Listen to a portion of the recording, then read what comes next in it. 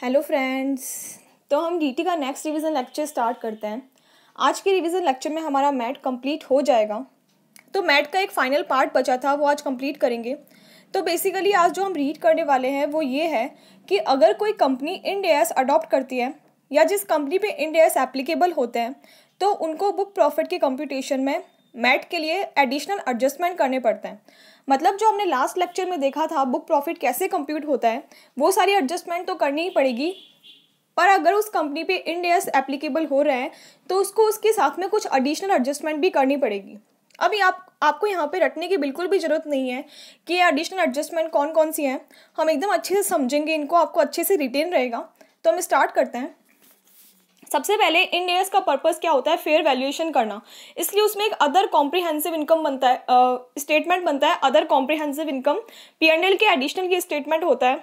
And जो fair valuation का surplus होता है वो इस ओ सी आई के अंदर ट्रांसफ़र होता है। इसके अलावा भी कुछ एडिशनल आइटम्स होती है ओ सी आई स्टेटमेंट के अंदर। तो मेन पर्पज़ जो इंडियस का है वो फेयर वैल्यूएशन है। ठीक है? अब हम रीड करना स्टार्ट करते हैं। In case of company required to follow the Ind AS, then the following additional adjustment to be made in the book profit. मतलब अगर कोई कंपनी इंडियस फॉलो कर रही है तो उनको बुक प्रॉफिट कंप्यूट कंप्यूट करते टाइम कुछ एडिशनल एडजस्टमेंट करनी पड़ेगी ठीक है? तो यहाँ पे आपको एक चार्ट दिख रहा है। यहाँ पे दो टाइप की एडजस्टमेंट करनी पड़ेगी। फ़र्स्ट है एवरी ईयर एडजस्टमेंट और सेकंड है वन टाइम एडजस्टमेंट। अब ये जो एवरी ईयर एडजस्टमेंट एडजस्टमेंट है वो आपको हर साल करनी पड़ेगी जैसे कि नाम से ही पता लग रहा है एवरी ईयर एडजस्टमेंट ठीक है? एंड वन टाइम एडजस्टमेंट अब ये वन टाइम एडजस्टमेंट कब करनी है? जब कन्वर्जेंस uh, होता है मतलब कन्वर्जन होता है ए से इंडियस में मतलब इंडियस अडॉप्ट करती है कंपनी तो उस ईयर के अंदर बेसिकली ये एडजस्टमेंट करनी होती है। अब ये एडजस्टमेंट क्या होती है हम डिटेल में डिस्कस करेंगे। फ़र्स्ट आती है एवरी ईयर एडजस्टमेंट ठीक है? सबसे पहले ये बोलता है items in O C I which is not to be reclassified in the P and L account मतलब ओ सी आई की ऐसी आइटम जो बाद में किसी भी ईयर के अंदर पी एंड एल के अंदर रिक्लासीफाई नहीं होगी। तो मतलब क्या है इसके कहने का? कि अगर ऐसी आइटम्स हैं, जिसका कभी भी बाद के ईयर्स के अंदर पी एंड एल अकाउंट में रिक्लासिफिकेशन नहीं होना है तो उस केस में उस पर मैट अभी ही लगा देंगे हम। मतलब अगर ओ सी आई के क्रेडिट में वो आइटम दे रखी है तो उसको हम बुक प्रॉफिट में यहाँ पे ऐड कर देंगे एंड डेबिट में अगर दे रखी है तो बुक प्रॉफिट में से लेस कर देंगे, ठीक है? तो यहाँ पर कौन सी आइटम्स हैं? Which is not to be reclassified in the P and L account अगर ऐसी आइटम्स होती जिनको बाद में रिक्लासीफाई किया जाएगा पी एंड एल अकाउंट में देन जब भी वो रिक्लासीफाई होगी पी एंड एल में, उस ईयर के अंदर उस पर मैट एप्लीकेबल होगा। लेकिन यहाँ पर उन आइटम्स की बात कर रहा है ये कि जिनका reclassification P and L account में बाद के ईयर्स में नहीं होगा, ठीक है? अब यहाँ पे इसके कुछ एक्सेप्शंस हैं।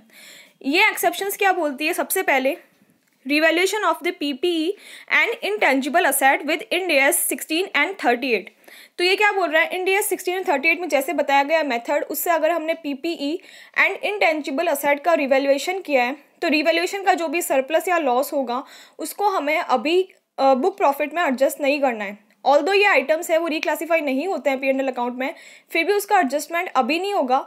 ये कब होगा एडजस्टमेंट जब हम इस पीपीई e को या फिर इनटेंजिबल असेट को इन फ्यूचर ट्रांसफ़र करेंगे डिस्पोज ऑफ़ करेंगे मतलब जब एक्चुअल में रिलाइजेशन होगा उस सरप्लस का उसी ईयर के अंदर ये आ, उस पर मैट एप्लीकेबल होगा ठीक है? नेक्स्ट पॉइंट क्या बोलता है? Ind AS one zero nine जो इक्विटी इंस्ट्रूमेंट वाला है आपने पढ़ा होगा इसमें भी फेयर वैल्यूएशन वैल्यूएशन से जो भी सरप्लस या लॉस होता है उसको अभी एडजस्ट नहीं करना है। जब भी इन्वेस्टमेंट डिस्पोज ऑफ़ होंगे उस ईयर में ही एडजस्टमेंट होगी ठीक है? तो बेसिकली ये टू पॉइंट्स क्या बोलते हैं? रिवेल्यूशन असेट का एंड uh, चाहे वो टेंजिबल है चाहे इंटेंजिबल पीपीई या फिर इंटेंजिबल असेट और इन्वेस्टमेंट का रिवेल्यूएशन ठीक है? तो ये क्या बोल रहा है? MAT will be applicable in the year in which such asset और investment will retire dispose of realise और ट्रांसफ़र रिटायर हुए हैं डिस्पोज ऑफ़ ट्रांसफ़र या ट्रांसफ़र हुआ है या रिलाइज हुआ है उस ईयर के अंदर उस पर मैट एप्लीकेबल होगा। अभी के लिए उसको बुक प्रॉफिट की कंपटीशन में नहीं लेना ठीक है? आई होप आपको ये पॉइंट समझ में आया होगा। कुछ भी नहीं था, सिर्फ़ ये इतना बोल रहा है कि ओसीआई के अंदर ऐसी आइटम्स जिनका reclassification in future P account में नहीं होगा, उस पर हम मैट अभी ही लगाएँगे। मतलब अगर ओ की क्रेडिट के अंदर है तो उसको बुक प्रॉफिट में ऐड कर देंगे एंड अगर डेबिट में है तो उसको बुक प्रॉफिट में से लेस कर देंगे। लेकिन इसके दो एक्सेप्शन हैं। एक तो है पीपीई एंड इनटेंजिबल असेट का रिवोल्यूशन सरप्लस और एक है जो इन्वेस्टमेंट का फेयर मार्केट वैल्यूएशन किया, उसका सरप्लस एंड लॉस ठीक है? सेकेंड पॉइंट है जो फ़र्स्ट पॉइंट से ही रिलेट करता है। हमने क्या रीड किया कि पीपी एंड इन्वेस्टमेंट का जो भी रिवैल्यूएशन रिज़र्व या सरप्लस होगा, वो जब भी वो एक्टिव यूथ से हटा देंगे मतलब या तो रिटायर कर दिया या ट्रांसफ़र कर दिया या डिस्पोज ऑफ़ रिलाइज कर दिया, उस ईयर के अंदर उस पर मैट एप्लीकेबल होगा। तो सेकंड पॉइंट बेसिकली यही बोलता है कि पीपी एंड इन्वेस्टमेंट जब सेल हुए रिटायर हुए डिस्पोज ऑफ़ हुए या ट्रांसफ़र हुए तो इन पर जो भी गेन होगा due to the change in the fair value तो वो हम क्या करेंगे, उस ईयर के अंदर, जिस ईयर में ट्रांसफ़र हुआ है हम बुक प्रॉफिट में ऐड कर देंगे। एंड अगर उस पर लॉस है तो उसको हम वहाँ से लेस कर देंगे। तो सेकेंड पॉइंट बेसिकली हम फ़र्स्ट के अंदर ही रीड कर चुके थे। थर्ड पॉइंट ये क्या बोलता है? थर्ड एडजस्टमेंट इसकी डी मर्जर के केस के अंदर, ठीक है? अब मैंने आपको बताया था कि इंड जो इंडियस है, उसका जो मेन पर्पस होता है फेयर वैल्यूएशन होता है। अब यहाँ पर डी मर्जर में आपको पता है कि कोई सेगमेंट अलग हो जाता है किसी कंपनी का, या फिर कोई यूनिट अलग हो जाती है।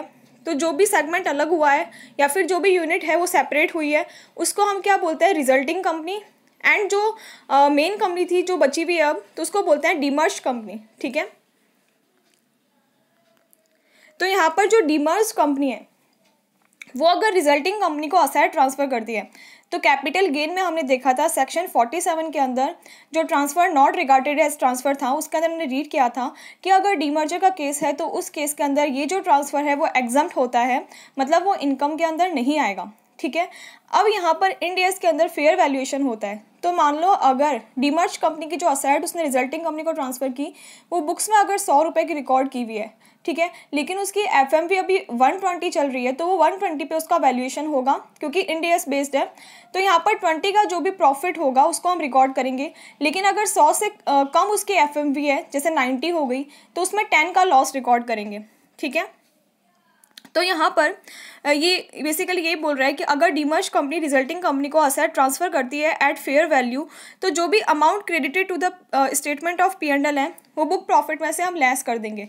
मतलब कि प्रॉफिट के अमाउंट है वो statement of P and L के अंदर दे रखी होगी क्रेडिट साइड में अगर तो उसको हम बुक प्रॉफिट में से लेस कर देंगे, क्योंकि टोटल इनकम में इंक्लूड नहीं होगा। एंड यहाँ पर अगर डेबिट के अंदर उसका कोई लॉस दे रखा है मतलब अगर हंड्रेड की थी एंड एफ़ उसकी नाइन्टी है तो नाइन्टी पे ये ट्रांसफ़र होगा एंड जो टेन का लॉस है, जो पी एंड एल के डेबिट के अंदर दे रखा है तो उसको हम यहाँ पर डिसअलाउ कर देंगे मतलब कि उसको वापस से एड बैक कर देंगे। ठीक है? आई होप आपको ये समझ में आया होगा। इसके साथ ही एक और बात इंपॉर्टेंट है रिजल्टिंग कंपनी के केस के अंदर, कि रिजल्टिंग कंपनी को जो भी असेट मिलेगी उसकी जो बुक वैल्यू होगी मतलब डीमर्श कंपनी की जो बुक वैल्यू थी मतलब हंड्रेड की बुक वैल्यू थी ट्रांसफ़र भले ही उस पर वन ट्वेंटी पे किया या फिर नाइन्टी पे किया, अगर उसके एफ़ एम नाइन्टी थी, लेकिन जो डेप्रिसिएशन क्लेम करेगी ना रिजल्टिंग कंपनी वो उसकी बुक वैल्यू पे करेगी जो डीमर्श कंपनी में थी मतलब हंड्रेड पे। यहाँ पर जो रिजल्टिंग कंपनी होगी, वो हंड्रेड पे इसका डेप्रिसिएशन क्लेम करेगी। ठीक है? तो ये एक और इंपॉर्टेंट पॉइंट था इसका। आई होप आपको ये समझ में आया होगा। कुछ भी नहीं है सिंपल सा कॉन्सेप्ट है। अगर डीमर्ज कंपनी रिजल्टिंग कंपनी को असेट ट्रांसफ़र करती है तो सेक्शन फोर्टी सेवन के अंदर जो कैपिटल गेन है, वो एग्ज़ाम होता है। ठीक है? एंड अगर वो ट्रांसफ़र है तो वो फेयर वैल्यू पे ट्रांसफ़र है अगर तो फेयर वैल्यू पे ट्रांसफ़र करने से जो भी प्रॉफिट लॉस अगर पी अकाउंट के अंदर हमने रिकॉर्ड किया हुआ है तो उसके इफ़ेक्ट को हटाना है। कैसे हटेगा? अगर प्रॉफिट है तो क्रेडिट में होगा तो उसको हम वापस से लेस कर देंगे। एंड अगर लॉस होगा तो वो डेबिट में होगा तो उसको हम एड बैक कर देंगे।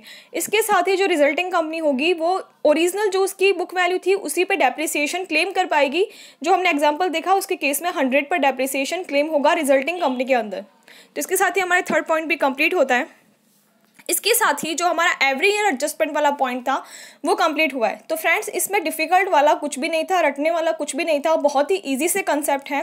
फ़र्स्ट कंसेप्ट था कि ओसीआई के अंदर रिक्लासिफिकेशन ऐसी आइटम्स जिनका रिक्लासिफिकेशन पी में नहीं होगा इन फ्यूचर तो उसका हमें अभी अभी ही उस पर मैट एप्लीकेबल करना है।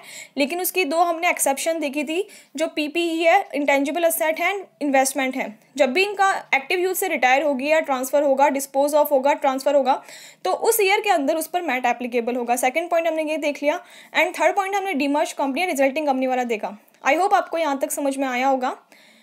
नेक्स्ट आता है वन टाइम एडजस्टमेंट ठीक है? अब ये वन टाइम एडजस्टमेंट कब होती है? तो ये बोलता है ओनली ऑन ट्रांजिशन ट्रांजिशन का मतलब होता है कन्वर्जन जब ए एस से इंड एस में कन्वर्जन हुआ, तब केवल ट्रांजिशन पीरियड के अंदर ही इसका वन टाइम एडजस्टमेंट होगा। अब ये वन टाइम एडजस्टमेंट कैसे होगा?